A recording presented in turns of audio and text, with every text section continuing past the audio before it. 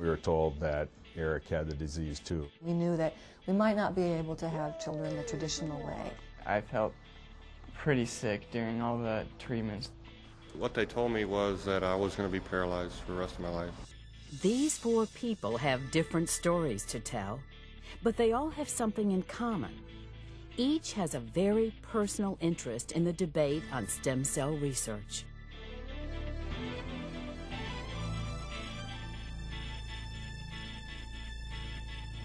Eric, Nathan, and Jason are among the thousands who have experienced the life-saving power of adult stem cell research firsthand. But what are adult stem cells? How are they different from embryonic cells? And why do so many people not know about their success in treating 69 diseases and counting? Kate has a different but related story to tell. It's a story of hope and fulfilled promises. She and her husband will introduce you to their extraordinary daughter, Zara. What can they teach us about embryonic stem cell research? And how can their story offer hope to millions of couples who, like Kate and Steve, face a future without children? Let's find out. Grab your nine iron.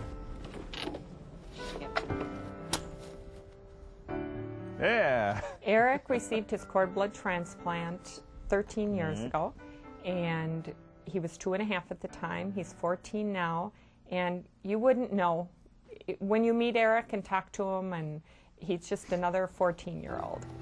Not quite. We found out about Krabbe disease in our family when Eric's younger brother, Adam, started losing milestones when he was about 10 months old.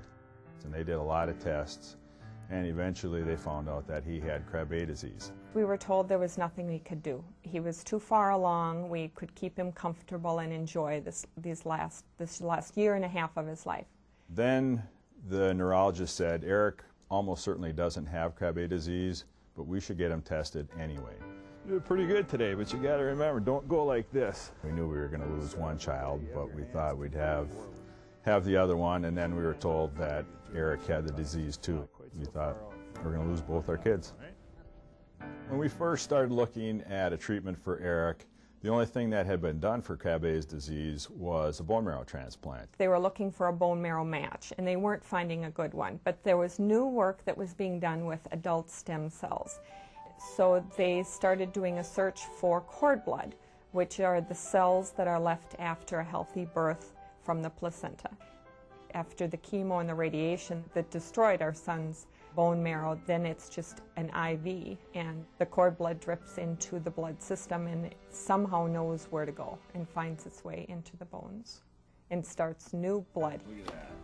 If Eric didn't have an option to receive cord blood, the likelihood is that he would have had major complications in his bone marrow transplant, which could have taken his life, or he could have been severely impaired coming out of that transplant.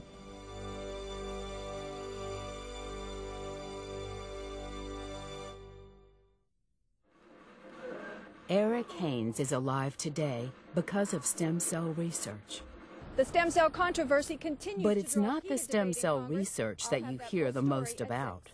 I think it's become a, a political battle that ignores more effective research that's being done in other areas with mature or adult stem cells.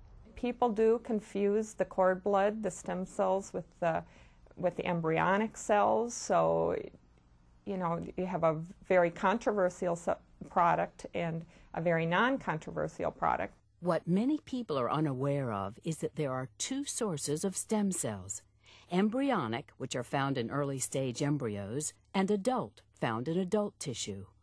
Both stem cells play an important role in human development. Embryonic cells grow or differentiate into every cell, tissue, and organ in the body.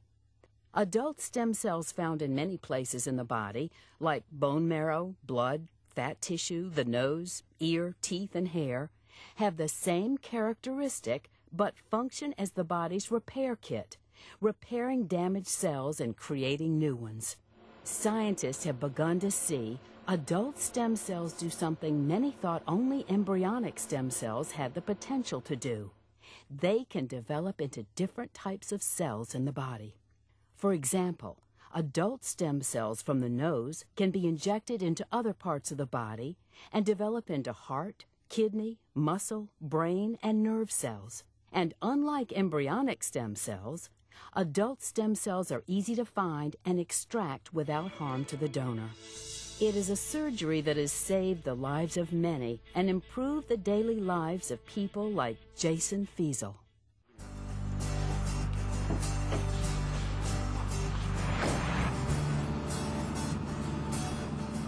It was a summer. I was coming back from a softball game, and I was about three blocks from my house. A lady pulled out in front of me. and I was on a motorcycle, and I hit her. What they told me was that I was going to be paralyzed for the rest of my life. I'll be in a wheelchair, and I probably will never walk again. I'm bullheaded, and I won't never really take no for an answer, so that's pretty much what happened. I, I didn't take no for an answer. Me, my mom, my sister, my dad, my family went up there to Detroit and met with Dr. Hinder. He then told us about procedures that people were doing. Then I got to talk to some people that went and had the surgery, and, and that's what decided, you know, made, me, made my mind up to go have the surgery. I figured, yeah, why not do this? Let's try it and see what it's going to do. After the procedure, after the surgery, I came back, um, and I and I could and I could start to crawl. If I've got the trunk control back, starting to get some of my abdominals back and stuff like that. When you don't have, you know, stomach muscles or anything to contract, when you sit, you just fold over if, if you don't. I mean, you don't have the muscles to control your body. It's not just the physical things too, as far as movement and everything. I'm able to sneeze a lot better, cough a lot better, my diaphragm, my breathing's got a lot better. You know, it's so hard to tell you I'm feeling tingling and burning because you're like, what's tingling and burning? But to me, you know, feeling different things in my body, like when I transfer or go onto like a hard surface or something, I can tell it's a hard surface now. It's also given people a lot more hope that, you know, there is things going on in this world right now um, to uh, cure paralysis.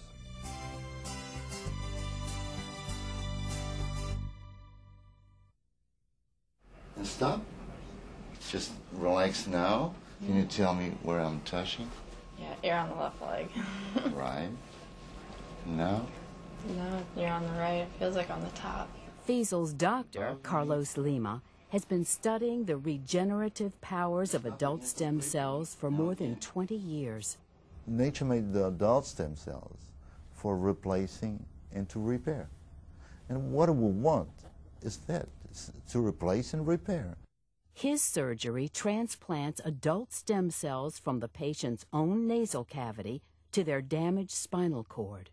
Lima has done this surgery more than 70 times, and all of the patients have shown improvements ranging from a recovery of feeling, better control of breathing and stomach muscles, better control of bodily functions, and some, like we saw with Jason Feasel, have even achieved the ability to walk with braces.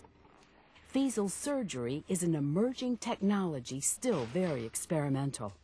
Nathan Salley's story is different. Doctors have built a longer track record with his illness. When I was 11, I was diagnosed with AML leukemia, acute myelogenous leukemia. And obviously, I, I felt pretty sick during all the treatments, the chemo and the radiation.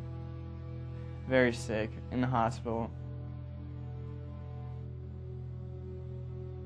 For, you know,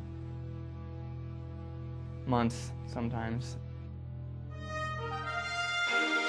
He battles a much bigger foe than his opponents on the soccer field, a 13-year-old boy with leukemia who needs your help. I couldn't go to school. I had to homeschool the end of sixth grade, seventh grade, um, the end of eighth grade, I missed ninth grade. I never wanted to be thought of as the sick kid or the kid that can't do that, and that's kind of what kept me going. I'd been pushing his doctor to do a complete blood count on him. I said, something's not right. And they said, just relax. He's doing fine. This is normal for you to have these feelings. And I said, no, there's something wrong. And so they did go ahead and do the CBC and found that he had blasts in his um, counts, and that meant that he had leukemia cells forming again.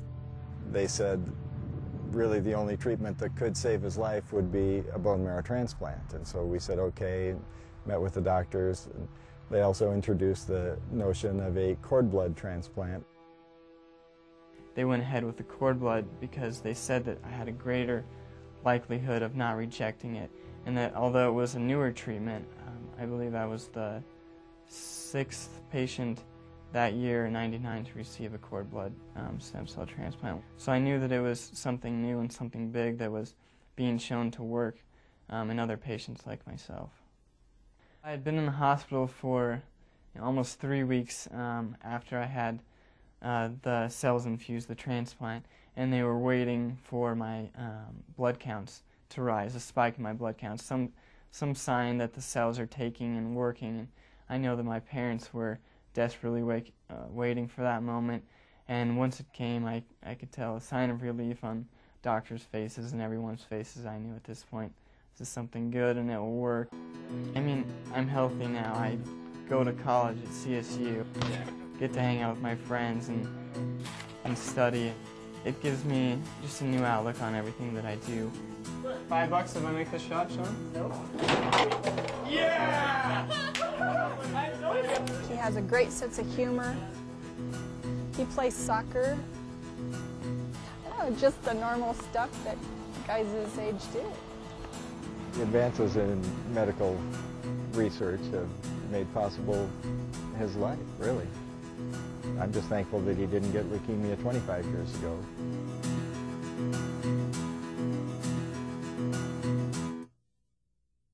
Unlike Nathan Salley, Kate and Steve Johnson did not have a life-threatening illness. They simply wanted to have children. While the medical technology that helped them is not the result of adult stem cell surgery, their story offers a life-affirming alternative for embryos stored at IVF clinics.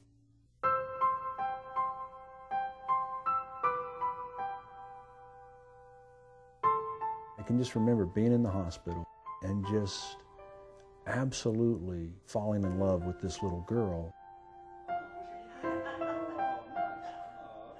The first second I saw her, just, you know, having my heart just completely captured.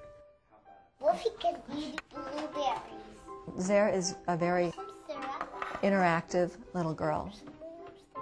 She plays with her kitchen and she cooks feasts for us every day. There you go. Okay. Of course, Steve was paralyzed, and that's, that was the situation that we came into as a couple, and we knew that we might not be able to have children the traditional way. Home run, Zara Johnson! High five! Woo! We're listening to the radio, getting ready for work one morning. And they had a, a couple on that had just had a baby Okay. through adopting an embryo. Uh, but we got some information on the Snowflake program and, and decided to go forward with it. To experience a pregnancy and to know that Zara was frozen for two years before she became, you know, a living, breathing baby here on this side of my body, um, just indwells that even more inside me to know that to use an embryo for research is always and forever killing a human being. Zara and I are in a unique position that of all the snowflakes in the in the world, she's the only one that has a daddy who is paralyzed and in a wheelchair. Would I kill my daughter in order that I could have a cure? Of course not. But yet, why do we think it's okay to kill someone else's daughter or someone else's son just because they haven't been born yet? And that's that's the issue.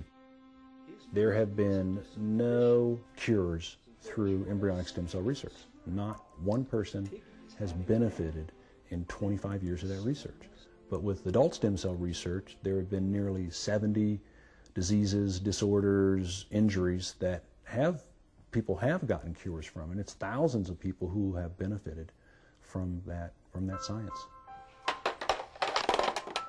One of the arguments that people make is that, well, there's so many of these embryos anyway, they're just going to be destroyed. When I've seen them do it, you know, they hold up the pad of paper and they, they have a dot, you know, they put a dot with a pen on a piece of paper. And they say, all we're talking about is just this little dot.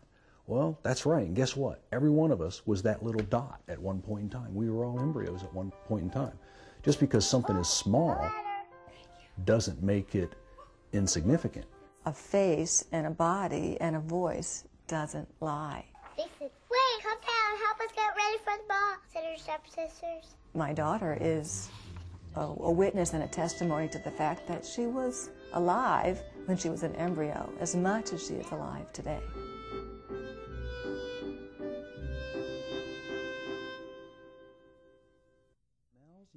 Kate and Steve's daughter, Zara, is one of the 101 babies born as a result of embryo adoption.